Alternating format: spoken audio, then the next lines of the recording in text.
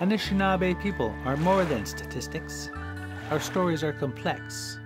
They are more layered than an archival vault celebrating Western histories. Thank you for uh, sharing your community, uh, sharing your stories, uh, but mostly, thank you for sharing your hope for the future.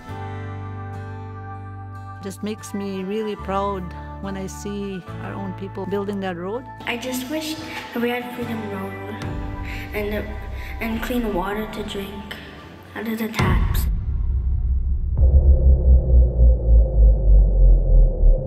Daily life without access to clean water is a struggle that we live with every day.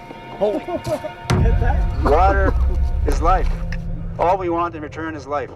That's all we're asking for. As an elder, um, I'm having a hard time now, like to cross on the ice.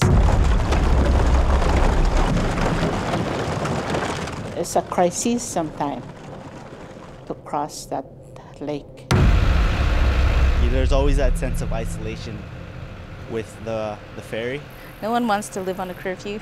This is about getting home safely, like everybody else in Canada. I think it's easy to want to like just move on.